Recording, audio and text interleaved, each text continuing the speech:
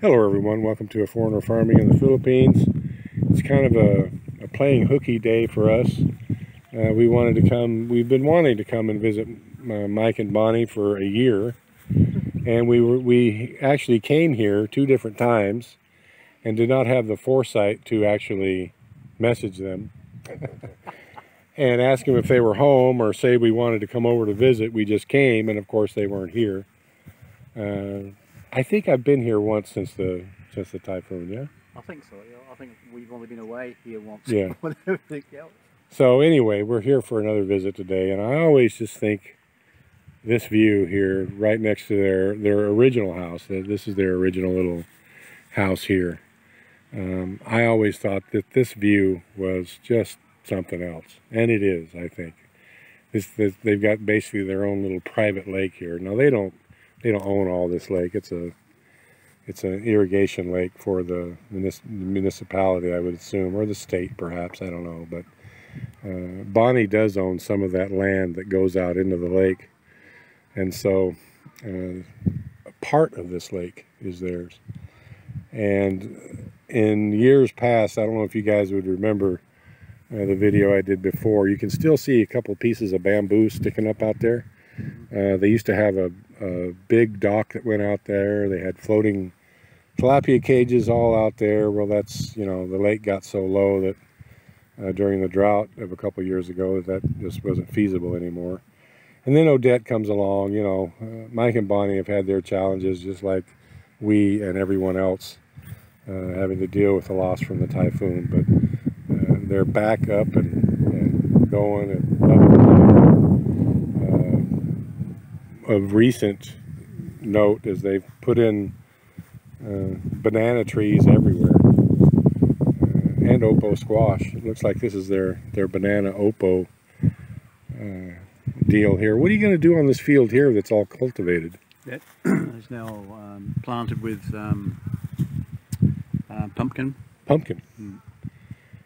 You know, we have done, that's another thing, we were I've been talking with Mike about what is working for us and what is not working for us. And uh, looking at the numbers on paper of what, you know, uh, we should grow. And there's a couple things that I could pick that we could grow exclusively um, and probably do better than, than having a, a bunch of different things going. But we were talking about having diversity and a diverse farm. And corn and squash are the two things that uh, theoretically on paper we could we could just go exclusively yep. to that and do better than uh, shotgunning it. But you know, you never look. I, am still stung from the piggery and having all our eggs in that in the one piggery basket, and then having uh, the double whammy of ASF and uh, the uh, lockdowns, COVID, and all the lockdowns, uh, and just in effect totally shut the piggery down because of uh, circumstances that were beyond our control. And so I am of the opinion now that having some things that are diverse and, and a lot of different things going on so that you always have some amount of return. Yeah. If something fails, then you've got something else that'll that'll keep you going. That diversity between, so you, you've got a constant cash crop coming up all the time. Yeah, so something, yeah, just something. something. Just to pay the bills and the feeds and yeah. And we're, you know, we're harvesting squash 50, 60 kilos a harvest now. Mm uh, and because of all the rain, we were just talking off camera about uh, this last uh, rainy season, about 60% of the plants that I planted uh, got drowned out. Got drowned out, yeah. So we're we're getting those kind of harvests from 40% of what we planted. Yeah. And 20% of that hasn't been well maintained. Yeah. So exactly. basically going off of 25% of what we had originally planted and intended, we're getting eh, to the point where we have to have a truck to deliver it. We're getting so many squash. And if you've got this whole area here and those are the kind of like, they look kind of like a, a, large flat acorn squash. We're talking about the same thing. The... They call them pumpkins here, or, or squash. But to me, they're... It's your squash, you know that. yeah, uh, yeah. and I'll tell you, if you ever get, if you ever jonesing for a, a uh, pumpkin pie, it's the same thing. And if you if you've got all that area there in squash, you're going to have a bunch of squash. Originally, well, I say originally, but before that whole area there had been in um, eggplant. It was a bumper crop too. I think I remember, Brian, when you videoed that eggplant uh, planting over there last time, I saw a comment from one of your subscribers saying, yeah, look at all the money he's spending on fertilizer and it'll all rot away. It'll, it'll get nothing at the end of it. Oh yeah, the the, the, the glass half full crew who know nothing about farming, who basically know nothing about nothing, but they've got an opinion on something. It's okay uh, having an opinion, but it's got to be sensible, you know. Well, and and, and based on some sort of uh, fact or yeah, life knowledge. experience, yeah. Uh, you know, I've come to find that a lot of people on YouTube are just lonely and uh, attention sinking and just say something just to be saying something.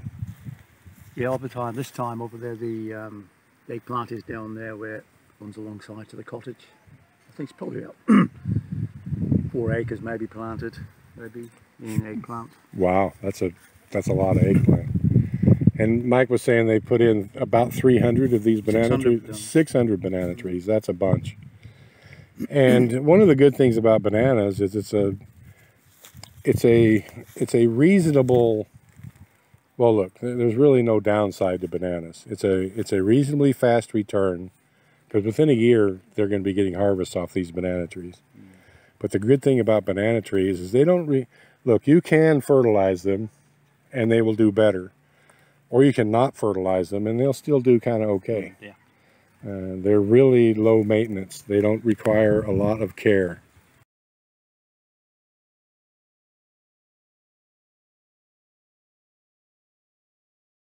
Fertilizing um, and spraying with those then you get the second leaves now um, because they, they look as though they're quite strong now. They've only been in here six weeks maybe from, from seedlings not you know,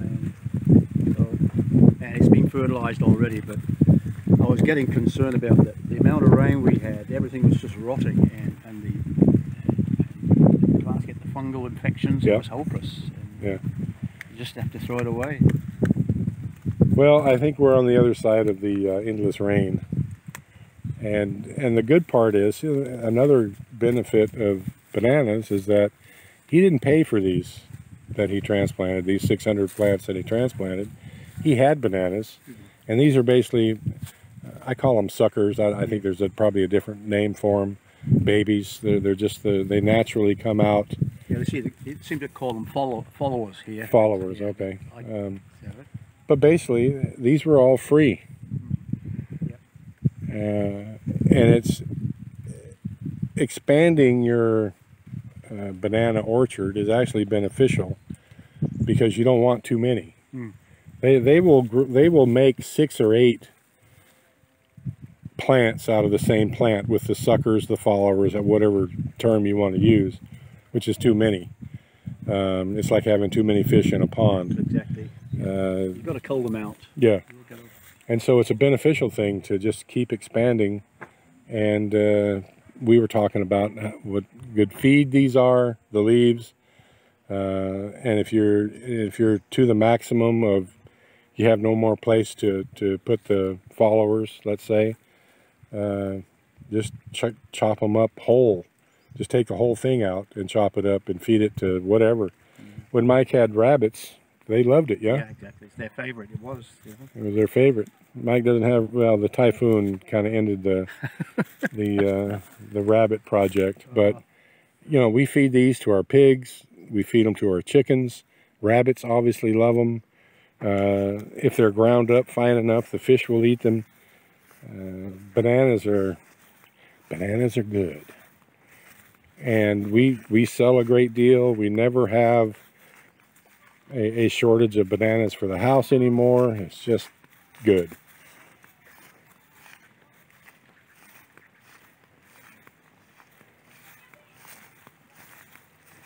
What trees are is that a is that a coffee tree not quite. No, I think it's it's a native. I think. Oh, this may be. That could be a mango. That one. That's a mango. But this. See, the soil's not good here because it's mainly diorite. Well, this was a hill. A hill. Where am I from? This was a hill, Yeah, correct? And it was was. just flattened out. Yeah. So this soil where we're standing is, well, there was probably a dome of soil Yeah. uh, several yards thick over it. So this isn't going to be uh, the best uh, soil. I've always loved this place, Mike. Uh, I've always uh, admired your little farm here. How many hectares do you have right here? On the on our, what we own here, Bonnie and I. Yeah. 2.2 hectares. 2.2. So it's about the same size as ours, a little larger.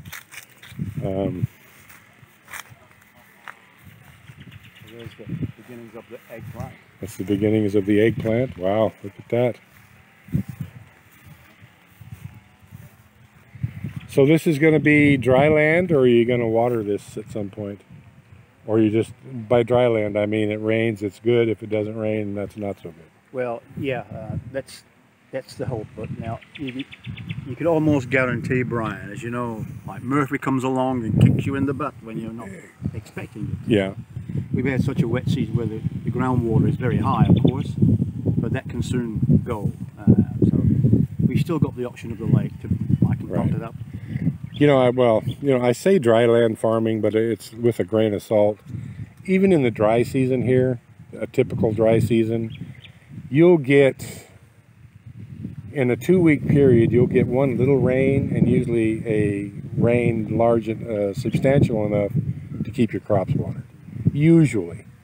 Um, it's only rarely that you would have to te- quote unquote water something.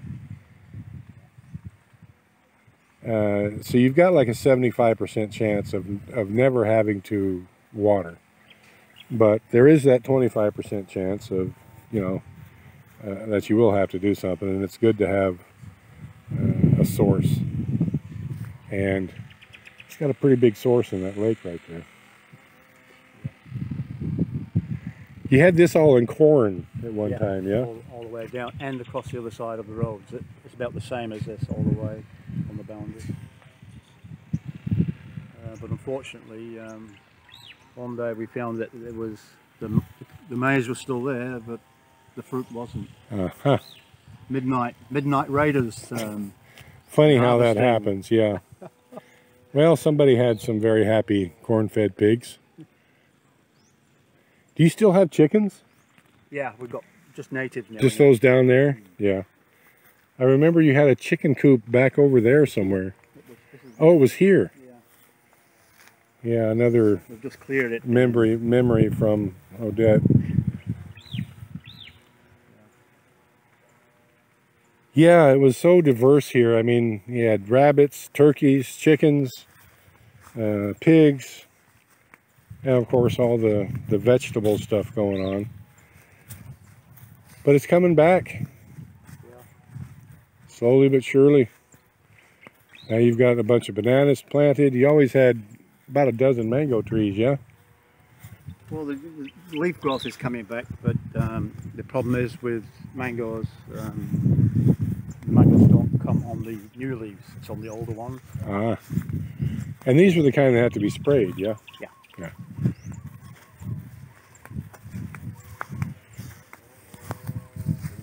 There's a little place area over there where it's all three rice paddies on terrace. It goes up up there. Is that yours as well? Yeah, it's, uh, it's another thing. I, I would look at selling that, you know.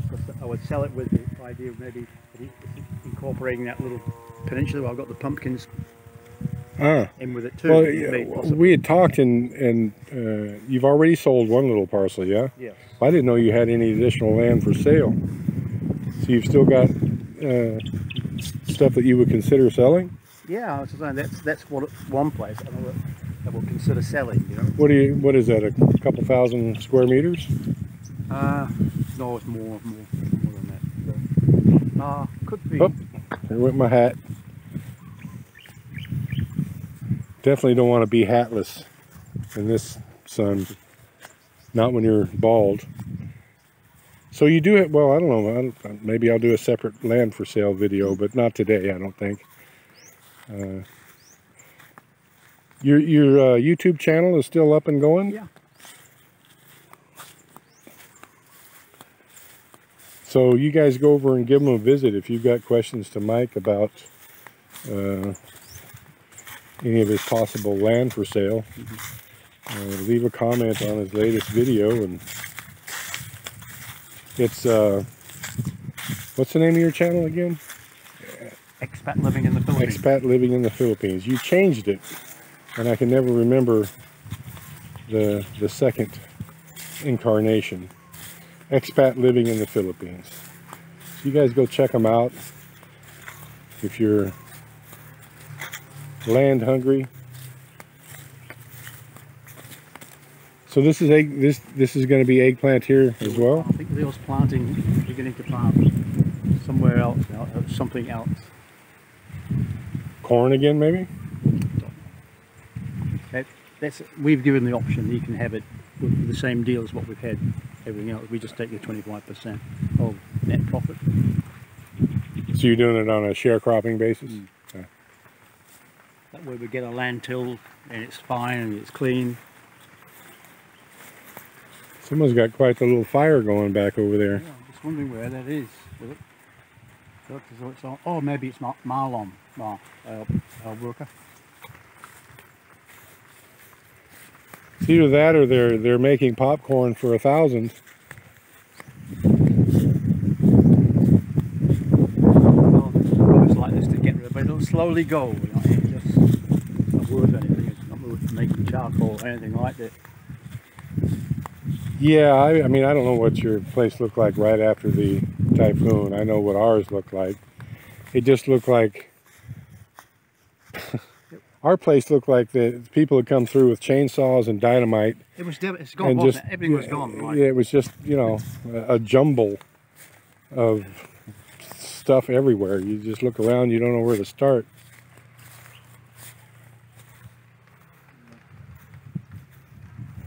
See, this is what I was talking about before, and we have this same concern on our place. So this is one banana tree here, except there's one, two, three, four, five, six, seven, eight, nine, ten. There's ten around this, which is really about seven too many. But we, you know, we have the same. If if you're not, if you don't stay on it, then they'll get ahead of you. And we'll just keep planting bananas. Yeah. I mean, all these smaller ones here, they do okay. Yeah. Really, the the root that's down in the bottom is what you I hear is what you really want to plant. Exactly. Yeah. Uh, that they produce much better. But you can you can transplant these the ones that are already growing. But as I understand it, they um, they will actually produce faster from the little root that you a little um, yeah the, the the little root that's down under the ground. You can't even see it. Like You got to dig it up, I guess. Here, it's, it's fine. You know, even they rec- recommend uh, that it's no shorter than six, uh, two feet. Uh, You know. And that's included taking the root portion, root ball off it. and what kind are these? Are these the Lacatan or the Sabah? I don't know, I can't remember, but I think all we're planting now is the ones that they use for Cooking? barbecue, Yeah, okay. banana cue. banana Q. That's all that we had planted initially, and until I it finally dawned on me, and I was made or I made myself aware that there weren't any bananas planted that I could eat because I really don't like the you know I Yellow really don't, stuff, yeah. I don't really it, to me if you have to cook a banana to make it edible, slather it with syrup or whatever that it's not you know or sugar. Nah, I just want to You've Take- got to plant your own tree then, Brian, haven't you? yeah, so I just want a banana that's yellow and you peel it and uh, you eat it like you're a monkey, right? Cavendish. yeah. And, but Lacatan are the are very similar, very similar to Cavendish. Okay. And when I figured that out and figured out we could get them, probably now at least half of the bananas we have are uh, the Lacatan, the the ones that I prefer. But we still have a, a lot of the uh, uh, Sabah, I think is the the name that they call them. But I just I think it's the coolest thing in the world just to go out and Go out and just pick your own pick bun- your own bunch, bananas and literally. a whole- yeah, And I don't know how much a full one of them, but a good harvest on it. Would weigh, it would be certainly, I don't know. Well, the the uh, Sabah, they're a little bit. The cooking bananas are a little bit less per kilo when you sell them, Mhm. but they weigh like twice as much. Yeah. The the bunch of bananas. so we got we harvested a a bunch of those Sabah yesterday. In Okay, fact, yeah. and it was it was this tall. Mhm. Uh, point down there, so it was like three feet, Mhm. and it was, you know, Yeah, you could barely get your arms around it and that's heavy, isn't it? it, and, it, and it weighed, I think, uh, 41 kilos. So that one bundle of bananas was 800 pesos. So uh, there's money in bananas, and we have yet uh, hit the limit of what we can sell. Uh, we have people coming coming to get them. We don't have to go Yeah. Uh, sell our bananas door to door or even at the market. They come. Do You have any bananas ready? Are any available? Well, there's always a ready sale for them, aren't there? This is pretty intense in here. I can see you've I can see you've cleared out a bunch. Yeah. And And you got 600 out of that little area. so far we've got, yeah, so, and we'll probably do this also. And maybe even down here, we do. I don't want to sell any more land that's going to be next to Jeff and Sandy. because It's encroaching on, on me and Bonnie over there, so. Oh, uh, uh.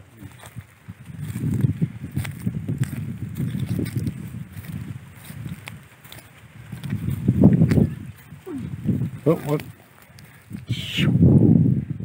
Dang it.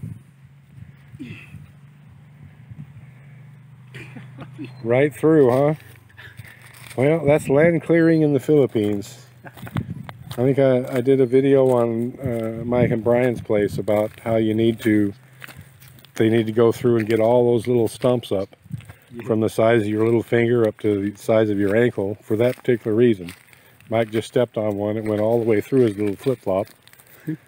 and that's the way they do it. They just come along and hack things down, and a little spear is left. Yeah, I think these, going back to the suckers again, Brian, these, these would be a good size to take, you know, something like that. And there's so many, we'll, we'll never run out. And uh, No, you'll never run out. self-sustaining in a, in, in a lot of respects. So. And that's the great thing about bananas. You never have to buy seeds. You never once you once you get started, you never have to buy more. It's an endless supply that they do themselves. This is the area that Jeff has bought, Jeff, Jeff and Sandy. Oh, this little area right here? Yeah. Wow. All right. That's the boundary, that's the, a normal boundary anyway. And so this goes all the way to the road here? And how far does it come back this way? It's, um, this, we're actually using that as, a, as the marker. Ah, that little tree there? Oh, okay. 16 metres by 36, something like that. It's, it's just over 5,000 square feet. 500 square metres, you know. Ah, beautiful. Oh, yeah, it was news to us. We came out here and we didn't know Sandy and Jeff had bought this uh, little piece here, but man, if I had known you were you were selling that and I had the money, I would have bought it my own damn self. back today. He's left to do today. To. Uh, but what a perfect little lakeside property. Exactly. What can you ask for? Another little jetty out there for the boats and the banquet and Exactly. little cage. So, some some um, agents have heard maybe some, some some of this land is for sale and sort of got in touch, blah blah. They said, "Mike, you got a beautiful property, yeah, yeah blah blah blah. It's wonderful, yeah, it's a lovely development, yeah, um, but your price is so high for Zamora. Yeah, well, You've got to so compare apples with apples, not with fucking pumpkins, know? You, you can pay 80 or 100 pesos for somewhere in the jungle per square you exactly. But next to a lake, no, well, you're not going to get that for 80 pesos.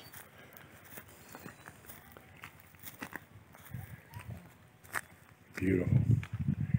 This is the little mini house that uh, Mike and Bonnie currently stay in. Where are you going to park your houseboat? Right there? It here somewhere. Mike has had a I was going to say a lifelong dream. I don't think it's been a lifelong dream, but he's had a years long dream of building a little houseboat uh, that he could putt around on the lake with. And Yeah, I, so it's arranged with people wanted to come. You know, we'll buy a couple of kayaks and the rubber tubes so people can have fun.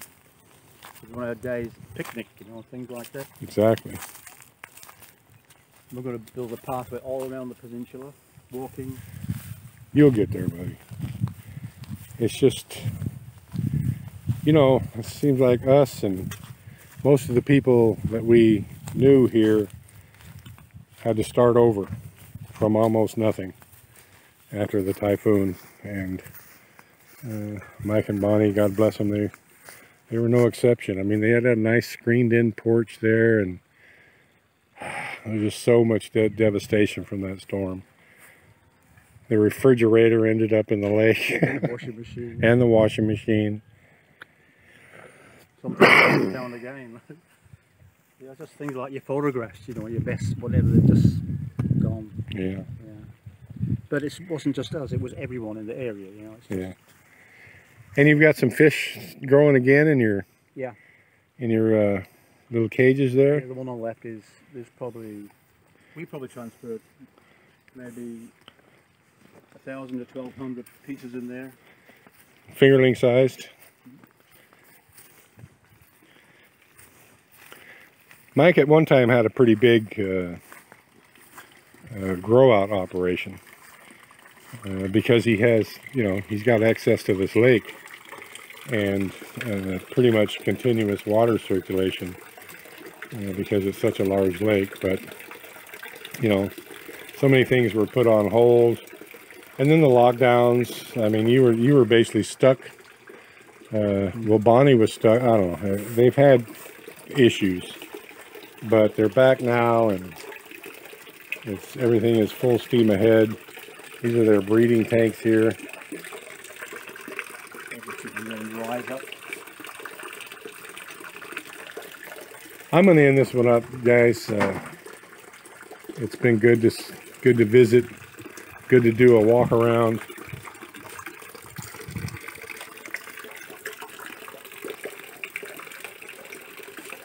He's got some really, really big. You always know when there's a stranger coming. Yeah, they're not going to do it if I'm here. If I back up a little bit. He's, he's got red tilapia in this one and the black in this one. Yeah. What's your opinion on the difference? I think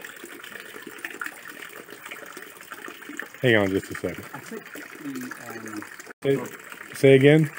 I prefer the um, the black tilapia. You prefer the black? If these as, as hybrids, yeah, whether the, the size is much different, I do not know. But certainly the texture of the meat is slightly better, I think, than the black tilapia. Oh, okay.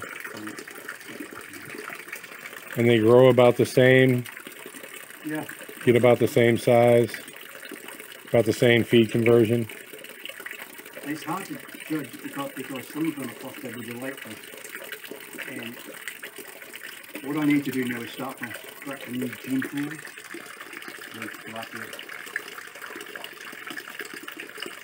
Yeah, the hatchery that we bought our quote unquote black tilapia from, the one in, uh,